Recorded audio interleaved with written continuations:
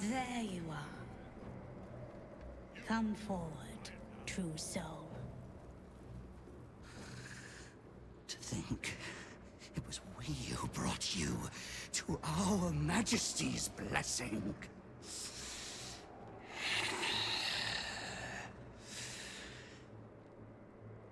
Be worthy.